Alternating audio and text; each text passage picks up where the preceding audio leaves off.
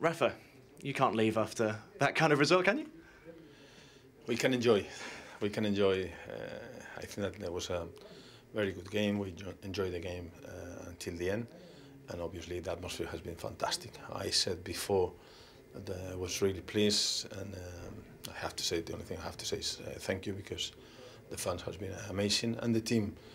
Uh, I told the players thank you very much because they were working so hard these uh, 10 games and it was a pity at the end that uh, we couldn't stay up.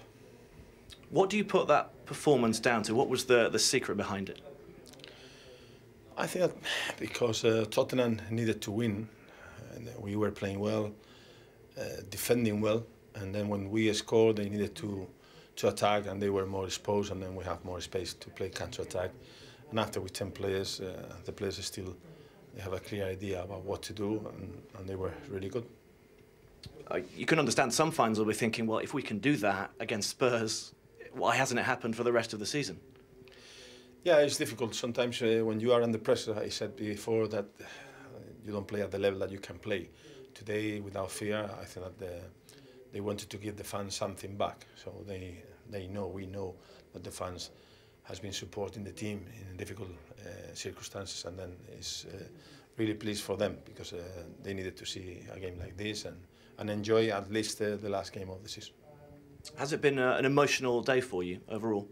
Yeah, obviously, uh, always when you have a lot of people uh, behind and you see the players working as they were working and everybody singing, I think it's very, very emotional. And I, I knew before that could be like this and uh, now we have to to wait and start talking and see what we will do in the future. And what what is the schedule for talking? Are you, are you set to meet Mike Ashley this week? No, I will talk with Lee Charnley, and then uh, after we will see uh, where we are. So I said that I am quite open and really pleased with everything, uh, staff and everything.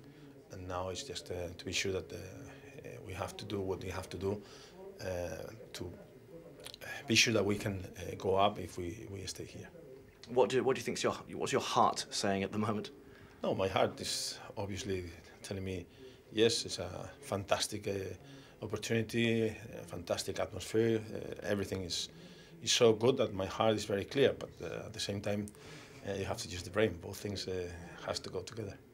Is there anything specific that your brain needs, or is it, or is it just smoothing things out? No, it's that they know. So we have been talking. I think that I have the same feeling that the fans. The fans want they want a strong team for the next season to be sure that they, we can uh, go up again, and that's it.